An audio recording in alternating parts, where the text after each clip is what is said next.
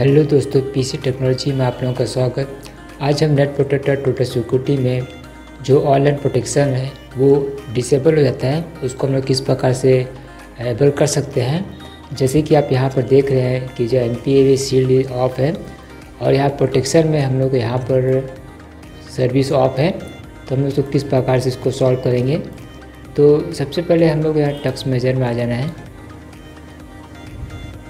यहाँ पर सर्विस में हमें क्लिक कर देना है और ओपन सर्विस पर क्लिक कर देना है हम लोग को है और यहाँ पर हम लोग को सीधा नीचे आना है और जो कि zero P anti virus protection के दिया है इसको क्लिक करना है और जो कि यहाँ पर हम लोग का डिसेबल हो गया है और इसको ऑटोमेटिक में डाल देना है और अप्लाई कर देना है।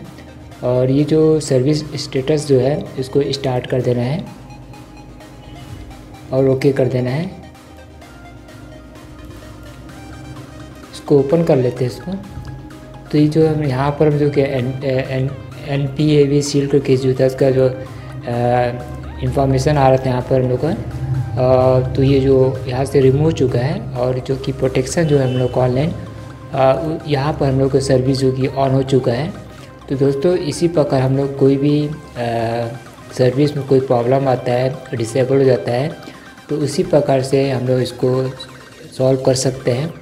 तो दोस्तों यदि वीडियो पसंद आया तो लाइक ज़रूर कीजिए और साथ में सब्सक्राइब कीजिए। और वीडियो देखने के लिए आप लोगों को बहुत बहुत धन्यवाद। शुक्रिया। Thank you so much